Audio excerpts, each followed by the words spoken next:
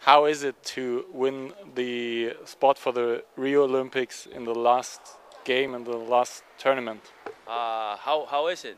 How, how was it? How do you feel? Uh, uh, our expectation uh, was uh, try to get some advantage uh, before get here, and uh, but the things don't go don't go really really really well. Um, the German teams uh, pushed very well, but uh, you know uh, people say that these things uh, are resolved into into the last moment, always always in the last in the last positions.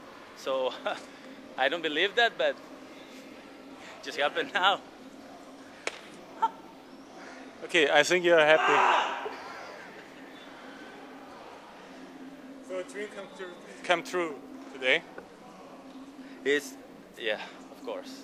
Uh, I think every athlete uh, has uh, have the, this dream, and it's too important for us. Uh, I mean, the, the volleyball in Mexico, um, uh, like indoor volleyball, qualified too. Uh, we're qualified, and uh, it's a big responsibility. It's just not qualifying, you know. Just try to do the best.